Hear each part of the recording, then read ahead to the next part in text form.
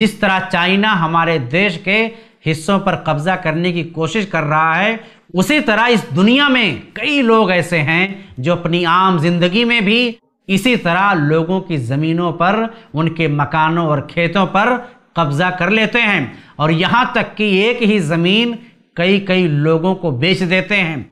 ऐसे काम को लोग मामूली समझते हैं और उसी तरह अगर अपने वर्षा हों या भाई बहन हों उनका हक मारते हैं और इसी कोशिश में लगे होते हैं कि अपनी दौलत ज़्यादा से ज़्यादा कैसे बढ़ाई जाए।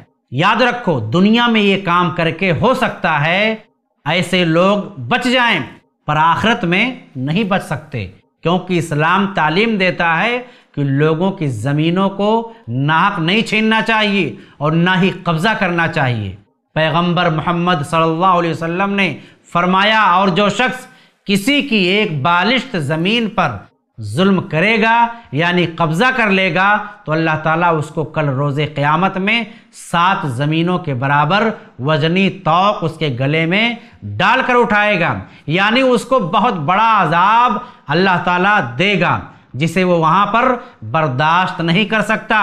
इसलिए हम लोगों को चाहिए कि अगर हम किसी की ज़मीन या माल हड़पे हुए हैं, या नाहक उनसे हासिल किए हुए हैं तो फ़ौरन अल्लाह से तौबा करें, उससे इस्तफार करें, वो ज़मीन या जायदाद या वो माल उसे वापस कर दें।